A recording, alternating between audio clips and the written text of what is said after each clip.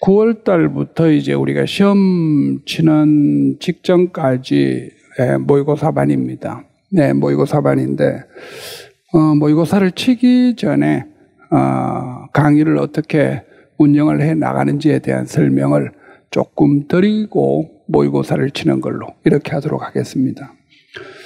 어, 시간 운영은 어, 저희들 이제 월요일 날 하루를 이제 운영을 하는 건데 그 매주 이제 10분짜리 형성평가가 있습니다. 네, 형성평가가 있는데 이번 주는 없죠. 왜냐하면 한 주 전에 있었던 그 모의고사 내용을 10개 정도의 어, 문제로 만들어 가지고 한 10분 정도 모의고사를 우리가 치는 것이기 때문에 이번 주는 이제 없이 없습니다.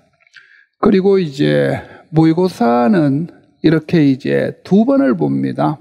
예, 모의고사는 어, 동형 모의고사 1, 동형 모의고사 2 이렇게 예, 두 개를 봅니다. 그리고 모의고사는 총 이제 어, 매주 이제 3회가 나갑니다. 그래서 이렇게 두 개 하고 하나는 어, 여러분들이 집에서나 또는 이제 전공 모의고사를 볼때 어, 치는 용도로 제가 한 해 분을 별도로 이제 드리는 겁니다. 에, 그리고 어, 여기 보시면 아시다시피 추가 시간을 좀 드립니다. 어, 이게 물론 이제 60분 내에 모의고사를 완성시키는 분들도 계시는데 조금 이제 아직 서툰 분들은 어, 시간이 좀 더 걸리는데 바로 다음 모의고사를 쳐버리면 결국 이제 두 번째 모의고사는 칠 수 없는 거기 때문에 어, 추가 시간을 좀 어, 드립니다. 그러니까 잘 쓰시는 분들은 그냥 이 시간을 휴식 시간이나 또는 여러분들이 조금 이제 암기해야 될 시간으로 가지면 좋을 것 같고요. 에, 뭐 이제 좀 아직 이제 서투신 분들은 어, 요거를 이용해 가지고 한 편의 논술을 완성하자. 뭐 요런 이제 의도입니다.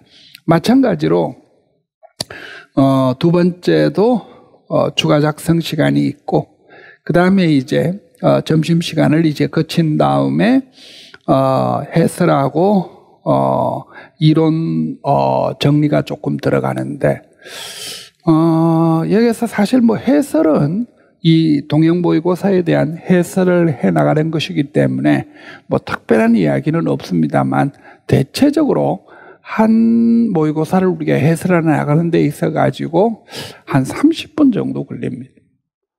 뭐 이론을 뭐 막 덧붙여서 설명할 필요는 없으니까요.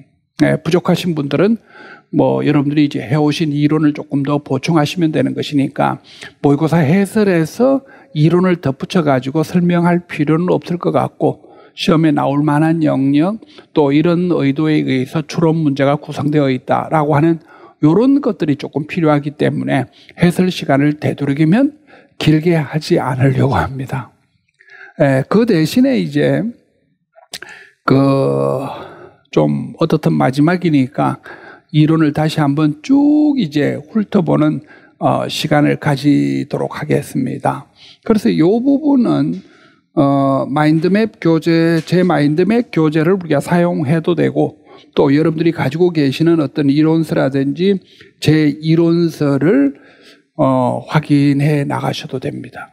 그래서 요거는 순서를 어, 제 이론서 순서대로 심리, 방법론, 과정, 평가, 그 다음에 행정, 철학, 사회학 이렇게 이제 나가려고 하는 데가 이론 요약은 이런 식의 순서로 나가려고 합니다. 그래서 이게 아마 행정이 한 주 정도 더 해도 될 것 같기는 합니다. 어, 시험 날짜가 음, 아무래도 뭐 그렇게 촉박하지는 않으니까요. 네, 그렇게 해서 이제 이론 요약의 진도표입니다. 그리고 되도록이면 이제 시험은 어, 요 5주는 어, 요걸 근거로 해서 시험 문제를 내고 다음 이제 어, 3주는 이걸 근거로 해서 우리가 시험 문제를 내겠다는 건데 사실은 그 동영 모의고사는 이 이제 두 번째 부분으로 내려오면은 첫 번째 부분을 포함해서 출제하는 경우들이 간혹 있습니다. 그거는 뭐 어쩔 수 없이 그렇게 될 수밖에 없고 마지막 이제 한 3주 정도 점검을 해 나가자라는 겁니다. 그래서 그 진행은 뭐 이런 식으로 이제 이루어집니다. 어, 다음 주가 아, 추석 연휴에 끼어져 있는데 다음 주도 수업을 어, 합니다. 어, 우리가 좀 여유 부릴 시간이 없어서 그냥 다음 주도 어, 뭐, 뭐더라? 대체 공휴일 뭐, 그런데, 어, 빨간 날로 되어 있는데, 이 시간도 공부를 하는 게 맞지 않을까. 아, 여기서 인터벌이 자꾸 길어져 버리면 여러분들이 정리할 시간이 더 줄어드는 것이기 때문입니다. 자, 그래서 이제 한 주도 예, 쉬는 주 없이 어, 하려고 합니다. 어, 그런데 이제 변수가 제가 어, 한번 말씀을 드린 대로 어, 변수 하나가 생겼습니다. 어, 변수 하나가 생겼는데 그게 2022년 개정교육 과정입니다. 22년 우리가 개정교육과정이 지난주에 어, 공식적으로 어, 완전히 그 발표한 건 아니고요. 시안이라고 해서 발표를 했습니다. 그래서 어, 다음 주 그 추석 연휴 그 다음 주까지 어, 시안을 가지고 그 이후에 확정하겠다라는 이야기를 하는데 거의 완성되었습니다. 음, 거의 완성되었습니다. 그래서 여러분들 이게 지금 뭐도 완성되었나 하면 전공도 완성되었습니다. 그래서 전공도 지금 시안을 발표가 했는데 지금 이걸 제가 왜 이 말씀을 드리는가 하면요. 어, 이게 공식적으로 어, 2022년이지 않습니까? 그러니까 사실은 정확하게 이야기하면 내년도에 발표해야 되는 거예요.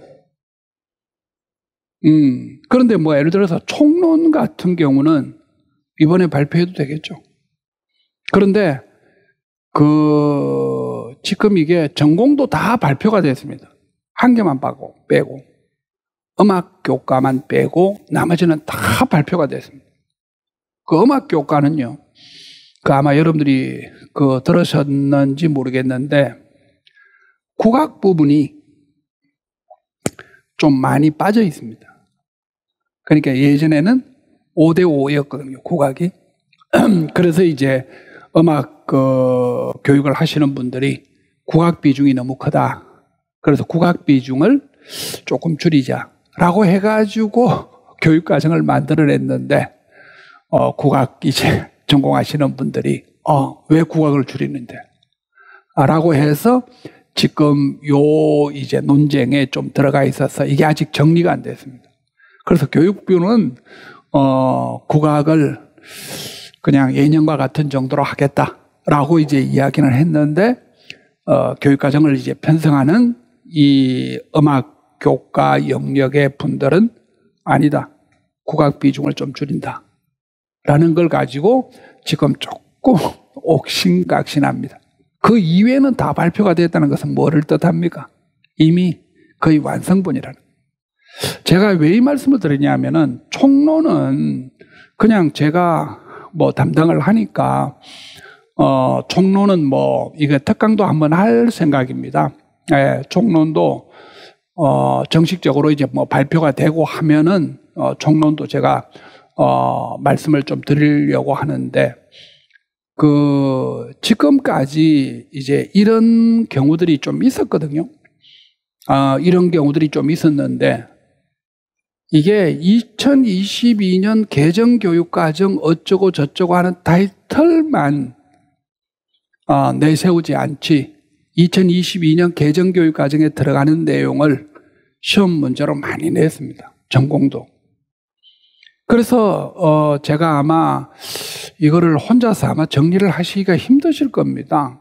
그래서 아마 전공 선생님들이 그 부분을 파악해 주면 좋은데 혹시나 전공 선생님들이 이 부분을 잘 모르시면은 여러분들이 그래도 2022년 개정 교육 과정에 나와 있는 자기 전공 부분을 한번 쭉 보고 아, 좀 이게 좀 새로운데? 라고 하는 내용은 시험에 출제가 될 가능성이 많습니다.